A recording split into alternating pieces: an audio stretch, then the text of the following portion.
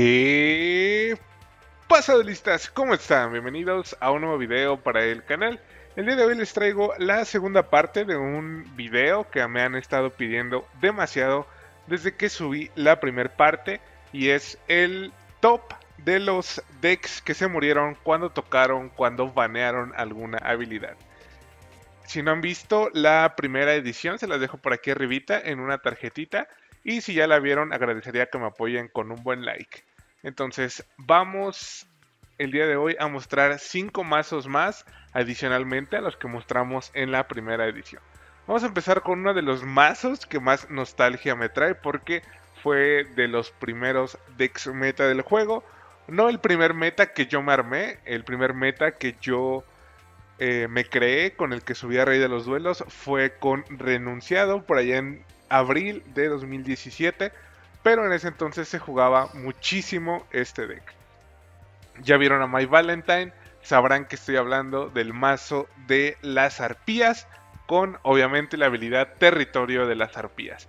El mazo más o menos se jugaba así, digamos, es que los pay to win eran los que tenían la tercia de muro de espejo, algunos jugaban con tercia o dos copias de esfera curibo y también en cuanto salió el Impachi Ardiente, jugaban esta bonita carta vainilla con 1850 de ataque. En ese entonces era la polla con cebolla quien tenía esa carta, de verdad. Era porque tenía eh, plata o sabía demasiado invertir bien sus gemas. Entonces, eh, se jugaba con esta habilidad, territorio de las arpías la cual dice lo siguiente, comienza el duelo con la carta mágica de campo, territorio de casa de las arpías activada. Ok, cuando la banearon, ¿qué pasó? No te lo agregaba automáticamente a la mano, pero solo te daba tres cartas y si iba segundo te daba cuatro cartas. Porque les digo, la quinta era esta. Entonces, cuando tocaron la habilidad, este deck se murió, lo dejaron de utilizar. Obviamente también el formato lo rebasó pero yo creo que si hubiese seguido utilizando, aunque sea un par de meses más, si no hubiese sido por eh, nerfeo. Entonces, primer mazo de la noche, el mazo de las arpías. Vámonos al segundo deck y ahora vamos al lado contrario del el deck de las arpías. Porque el lado contrario era un mazo viejo, el deck de las arpías. Ahora vamos con uno de los mazos más nuevos y que duró menos de 6 meses, fueron 3-4 meses lo que duró este deck. Hablo de los nobles.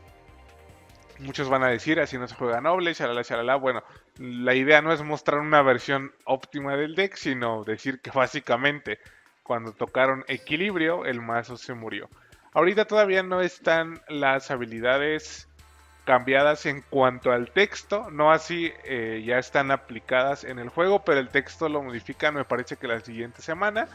Entonces, yo ya no he encontrado absolutamente ningún noble. Creo que antes de que tocaran la habilidad me encontré un par con campos de guerreros, pero es que ya no son ni la mitad de lo que fueron con equilibrio. Equilibrio les daba una consistencia muy muy buena, ya sea empezar con la trampa, Merlin y eh, Medraut en este caso, o con corte de karma y ya alguna de las magias de equipo. Entonces el mazo era bastante bueno por esa parte, te daba un buen control de campo desde turno 1 y no dependías tanto de lo que fueras a robar, era más que nada eh, que te aseguraba una muy muy buena mano el hecho de jugar equilibrio. Entonces este es el segundo deck desde que tocaron equilibrio o desde que, de hecho desde que avisaron iban a tocar equilibrio, ya mucha gente lo dejó de jugar. Trataron de hacer versiones post-banlist, no digo que ya esté al 100% muerto, pero como eh, dije anteriormente, ya no va a ser ni la mitad de lo que fue. Así que está el segundo mazo, los nobles. Tercer mazo y nos quedamos aquí con Yami Marik porque es eh, una habilidad exclusiva de Yami Marik. Hablo del buen cáncer, del buen Stal, el buen Sida que se jugaba con Juego de las Sombras. Ahora, esta fue una de mis versiones favoritas y fue de las últimas. Realmente, yo sé que hay más como Castillo Dorado de Stromberg, con Espada China, con Soldado Cifrado. Esta fue de las que más me gustaron. y de las últimas versiones que yo llegué a jugar. Con Juego de las Sombras, en ese momento bajaban eh, la habilidad 100 por cada carta en el cementerio y no importara que tuvieras menos de mil puntos. Ahorita la habilidad está tocada y dice la habilidad, eh, la habilidad no se aplicará a un jugador que tenga mil puntos de vida o menos. Antes le valía, o sea, literalmente contra luminosos tenían dos turnos para matarte, si no se iban a morir. Y ahora lo máximo que te hace creo que son 400 por turno. Antes no, como les digo, la habilidad estaba bien cerda. Cerda, cerda, 400 como máximo. Lava Golem bajaba 1000. Esta cosa te protegía de ataques. Esta cosa no podía ser destruida por un monstruo con 1900 de ataque o más. Esto terminaba la Face. Eh, las exclusas y las canadias para detener combos y la pared. Si se comían una pared, incluso hasta les podías ganar por ataque. Aparte de que con esta cosa ni siquiera recibías daño de batalla. Entonces, un purgatrío o algún golem que hiciera piercing damage, pues no le afectaba al guerrero de la fortaleza.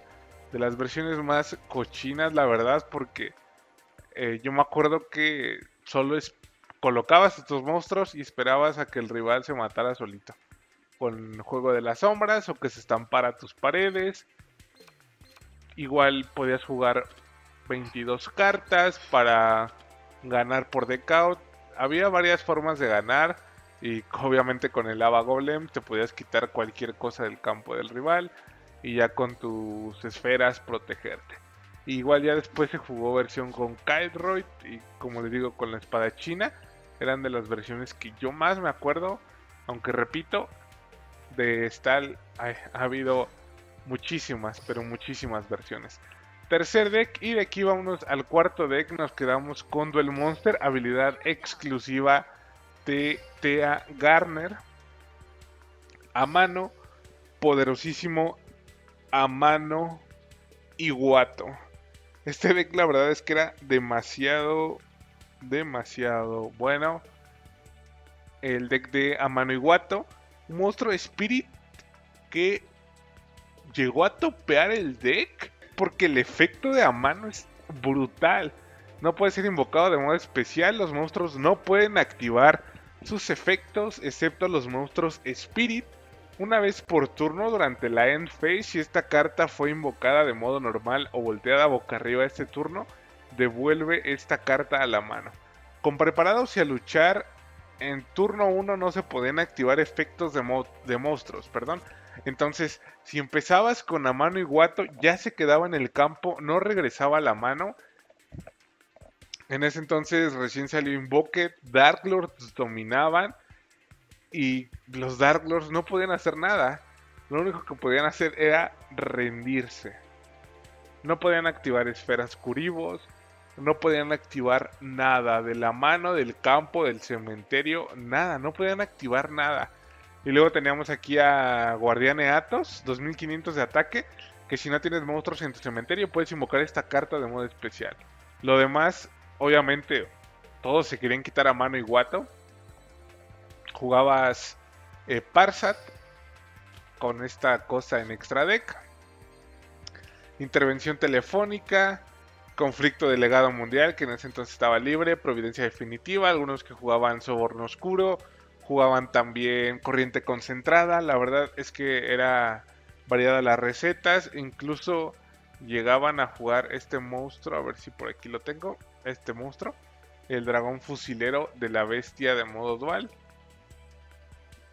Era bastante pero bastante bueno este deck, incluso con Cáliz Prohibido. Se llegó a jugar incluso con el buen Cáliz Prohibido.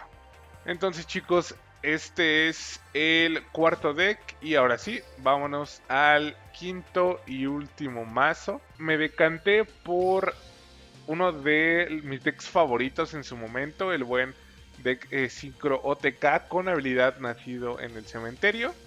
Eh, yo lo jugaba de esta forma. Eh, creo que estas cuatro staples todavía no existían. Pero me gustaba jugar una cazadora del caos, esferas curibo, dos copias, rosa látigo y el ángel trompetista.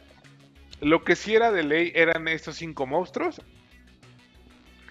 Los tres ciclones, la triple decisión dolorosa, la, perdón, doble edición dolorosa, triple afinado para la batalla y aquí ya era opcional si querías meter esclusas, muros, canadias, creo que hasta controlador de enemigos podías jugar, conflicto de legado mundial también.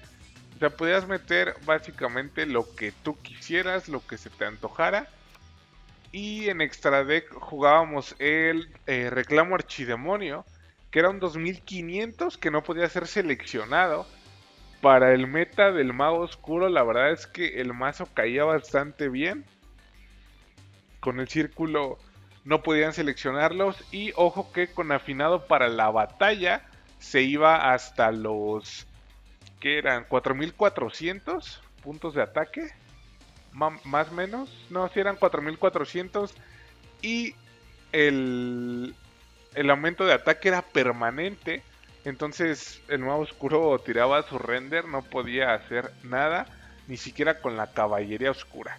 Ahora bien, eh, la habilidad lo que hacía era ponernos un Berger oscuro en primer turno, ahora con el nerfeo que ya está aplicado, el Berger oscuro no va a caer al cementerio hasta que tengamos menos de 1500, bueno, no menos, hasta que perdamos 1500 o más es decir, hasta que tengamos 2500 puntos de vida o menos. Así de esa forma, el Berger Oscuro será agregado. Esto pues nos va a impedir a que con un ciclón podamos activar la habilidad. Y es que ni siquiera podemos hacer otra cosa sin el Berger. El Berger era literalmente todo nuestro juego. Igual si te lo removían, lo mejor era que te rindieras.